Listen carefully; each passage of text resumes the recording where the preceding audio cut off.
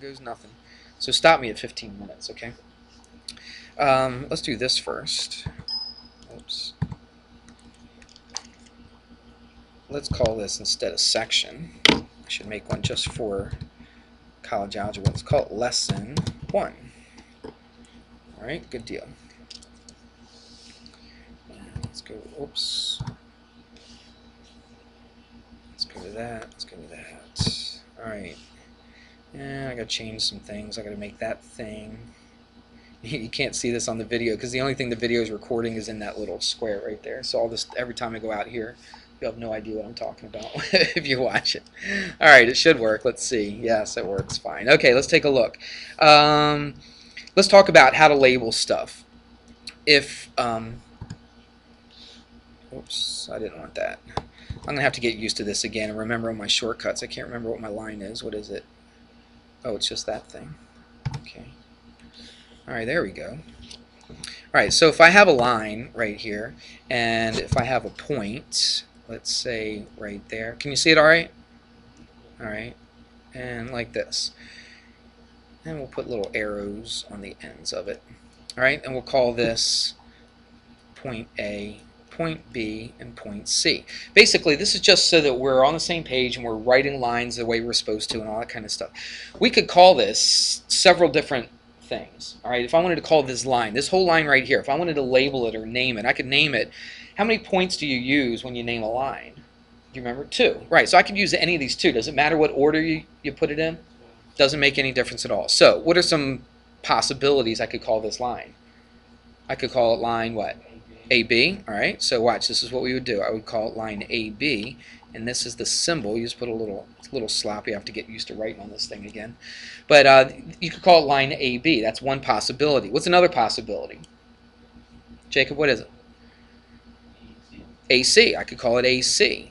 Now, some people think that you have to pick the points that are on the ends. You don't have to.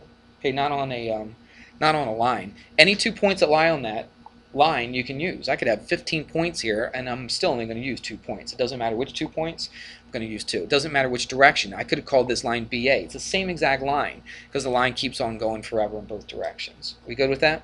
All right. Again, we're just rehashing this. That's all in the book as you see. Now, um, we could also do this. I'm going to put a dot here on the end and a dot here on the end. Now, I don't have arrows on this, so this is not called a line. What do I call this? A line segment, exactly right. So I'll just use these same letters, A and B. So if I called this, and let's put a C inside of here. Let's talk about the whole thing, okay? The whole entire thing from A to B. If I was going to label that or name that, I would name that line segment AB. Now watch what we do. We don't put the arrows over top of it. it's kind of curvy looking. Let's try to make it a little straighter.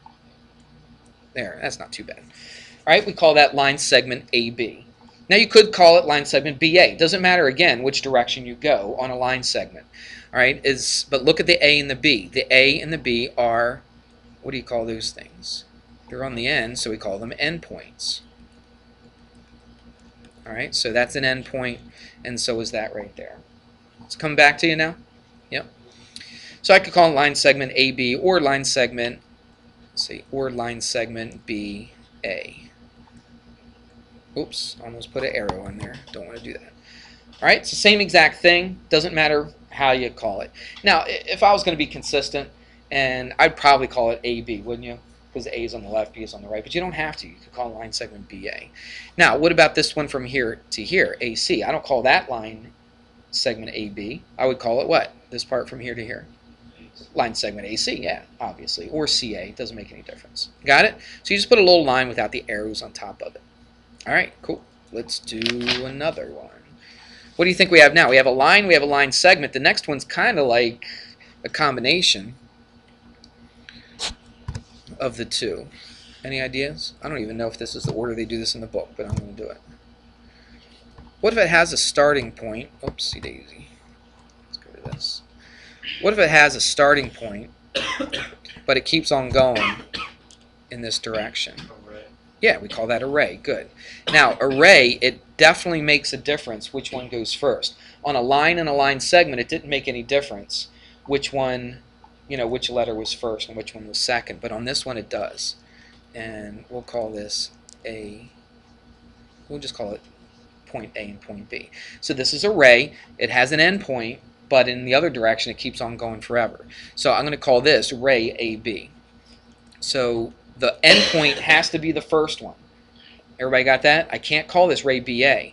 If I'm starting here and I'm going through B and it keeps on going in that direction, the A has to be first. And we just draw the ray like this.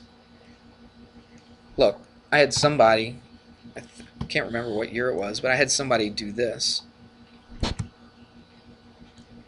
Right? And, you know, this was, we'll call it CD this time.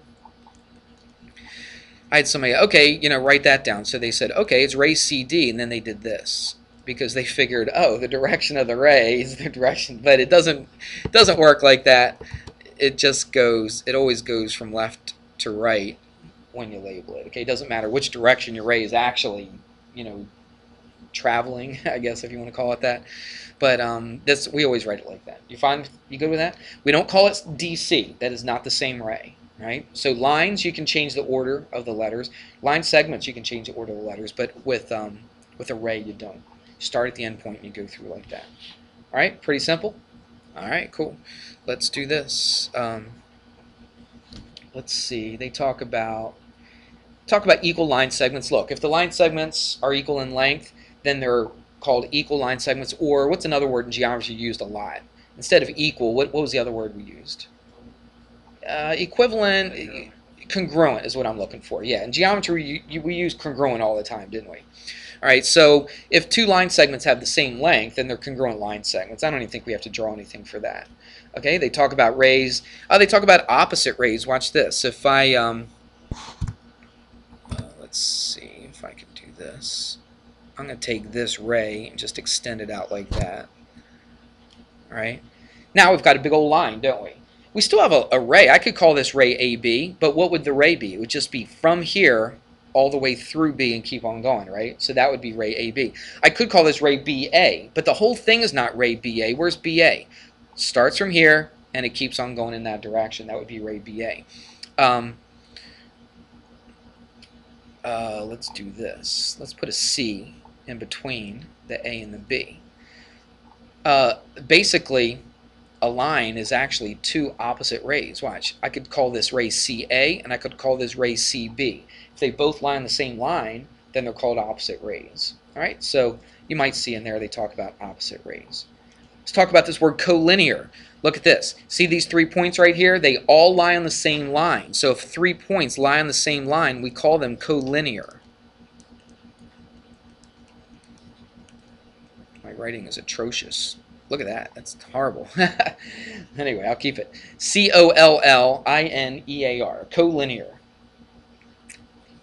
It means, what does it mean? It means all the points lie on the same line. Everybody got that? All right, good. All right, let's do another one. Let's do this. Almost out of time, right? Let's say we'll call this A and B down here. Here's two lines, and let's say that goes like that. Okay, there are two lines, and they uh, they hit each other. What's the big fancy math or uh, geometry word for when they hit each other? The intersect, right? Okay.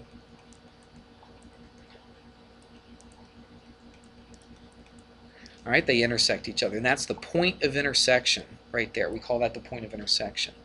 We'll call that E. So E would be the point of intersection. Really today is just all vocab, isn't it? And just trying to make sure remember how to say all these things. All right, let's keep going. Uh, actually, let's quit now because um, it's almost time for the bell to ring. I believe it is. 1035, yep, it is. All right, you get the idea. Now, here's what I want you to do. Look at page uh, 12. Now, you're going to see when they first start this book, they're going to throw some things in there that they kind of expect you to know already.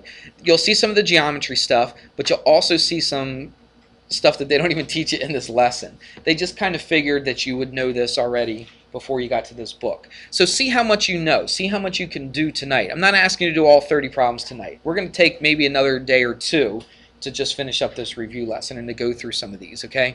So go through, um, so we're going to do, I'll, what I'll do is I'll probably call it problem set. That's what they call these things, problem set one. So that's, do is, do whatever you can, all right? So go through these. There's some algebra in there that you'll, you'll probably be able to do.